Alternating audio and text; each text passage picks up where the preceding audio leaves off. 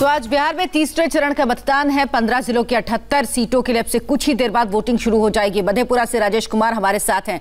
Rajesh, RJD seat से पिछले दो चुनावों में जीत हासिल कर चुकी है। इस बार बीजेपी की जगह यहाँ से जेडीयू ने अपना उम्मीदवार उतारा है। तो क्या कुछ समीकरण बदलने की उम्मीद है? देखिए, अगर मैं पूरे मधेपुरा ज़िले की बात करूँ तो 2015 के चुनाव में जेडीयू और आरजेडी साथ में लड़े थे और चारों सीटों पर उन्होंने जीत हासिल की थी। लेकिन इस बार जो है समीकरण बदले हुए हैं।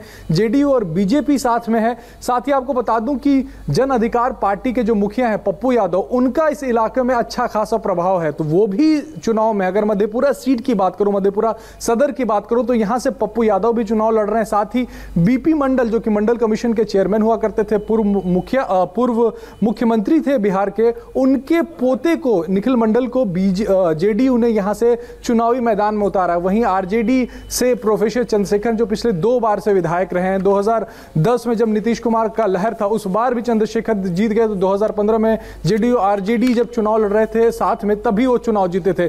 तो यहाँ पे मुकाबला काफ़ी दिलचस्प है काफ़ी आ, कौन जीतेगा ये कहना बहुत मुश्किल है। पप्पू यादव ने चुनावी रण में उतरकर यहाँ जो पूरा आ, मुकाबला है उसको दिलचस्प बनाया, अर्चना। जी तो देखना होगा क्या वाकई ये मुकाबला कुछ बदल पाता है, समीकरण तस्वीरें कुछ बदल पाती है मधेपुरा सीट की।